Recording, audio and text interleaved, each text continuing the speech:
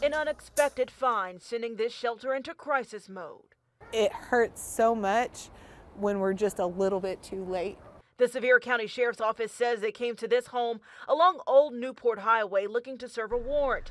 Sevier Animal Care Center Director Ashley Thomas says Animal Control eventually recovered two dead dogs and a dozen others, mostly all injured, from the property. When everyone on the property is being arrested, they can't leave dogs behind there, um, nor would they want to with the conditions that they found the dogs in.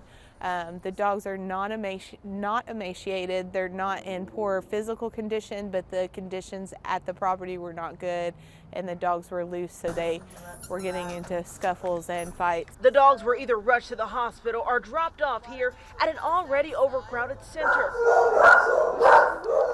Put out a plea for immediate adoptions or fosters. Jerry Smith heard about the situation from us.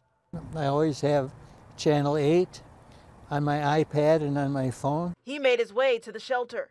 I feel sad for this, you know. And I, I only live a couple miles from here, so I just got down here right away to see what I could do.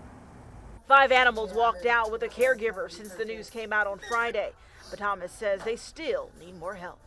It doesn't get us in a place where everyone can have a real kennel, but we're, we're getting there slowly because of our wonderful, caring, animal loving community.